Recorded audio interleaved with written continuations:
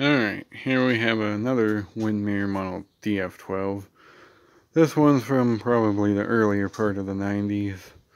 Um, has the pointed tip blades and the older style grill badge.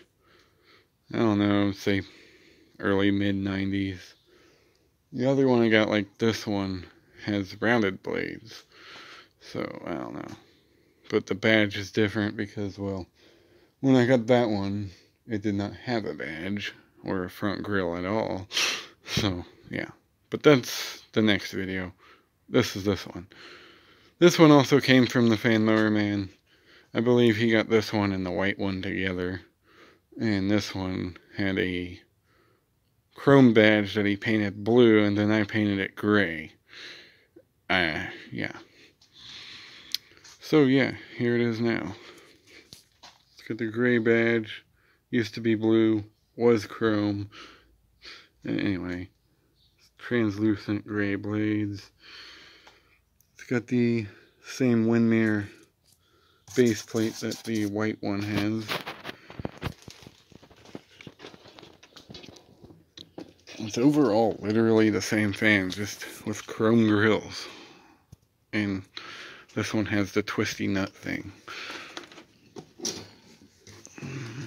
The model information still here? Yeah, it is. Model DF12. This is made in China. Obviously, this is definitely when Chinese fans were still a good thing. And not hunks of junk like they are now. I mean, these were made by Kuo Horng, I believe. And Kuo Horng made some good fans in their day. So, yeah. Here's hi.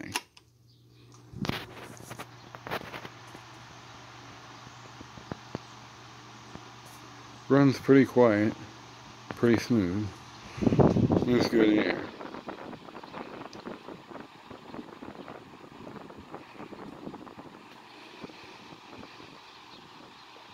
Really quiet, actually.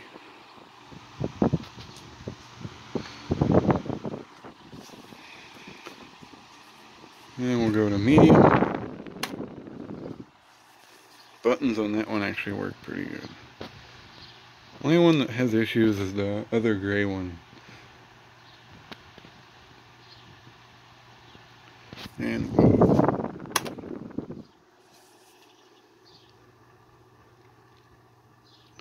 I don't remember if the oscillator works on this one, but we'll try.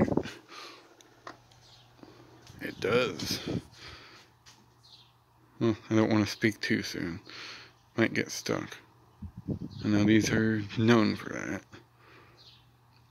But no, it, it works. Not a widespread, but it works. Go back to medium.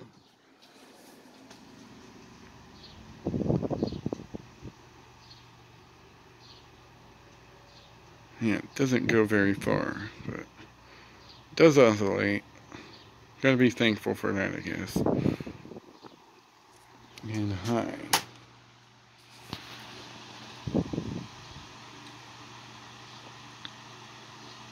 I think I remember why I painted the badge gray.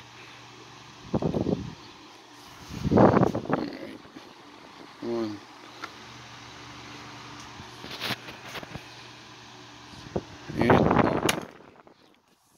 But yeah, why I painted the badge gray was to match the Windmere DF7 I have.